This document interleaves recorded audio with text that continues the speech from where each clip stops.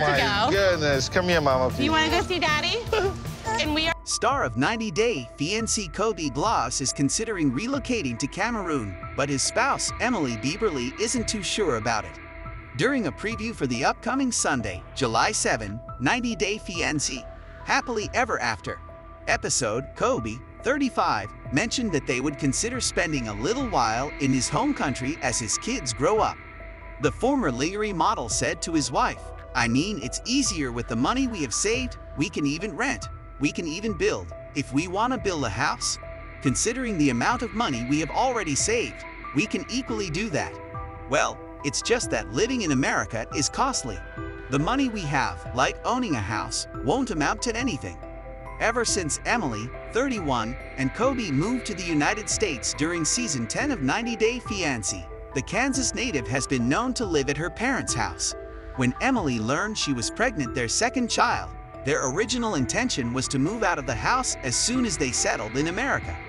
Emily was taken aback when her spouse mentioned relocating to Africa. We're very fortunate to live in America and have our kids grow up here, but I also absolutely love your culture and traditions, she retorted. Kobe contended that although their two kids, Koban and Scarlett, would have a better life in America, the relocation might only be a short-term one or two years. After coming here, I've realized that raising a family in Cameroon will be much less expensive.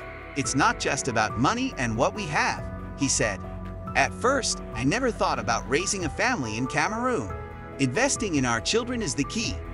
At this point, even a year or two spent growing up in Cameroon will greatly aid the children in understanding the country's culture.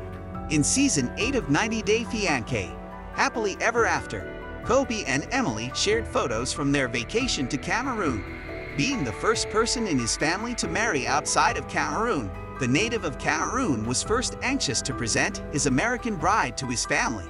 This is something I'm really concerned about, he said, acknowledging that he honestly didn't know how his friends and family would respond to his wife.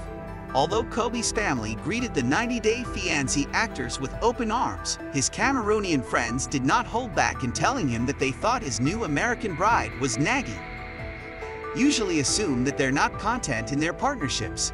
In a solo interview on April 7, Kobe's buddy, Valerie, stated, Their cultures are really different from our own cultures, because in Africa, the women have to be submissive to us. However, I am aware that things are different there. Everyone has equal rights, and I believe that when you are unable to exercise those rights as a man and an African, you are not happy.